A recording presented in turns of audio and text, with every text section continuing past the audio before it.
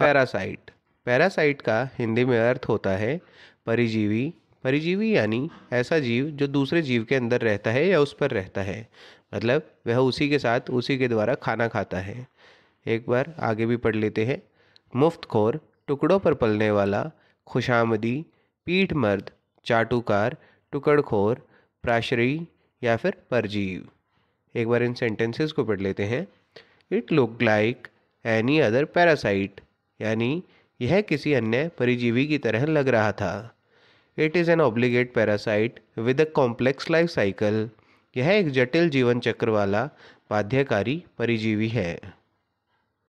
अपनी इंग्लिश को और अच्छा करने के लिए आप हमारे चैनल के होम पेज पर जाकर और भी वीडियोस देख सकते हैं। और आगे आने वाली ऐसी ही वीडियोस को देखने के लिए चैनल को सब्सक्राइब करें और बेल आइकन को प्रेस करें।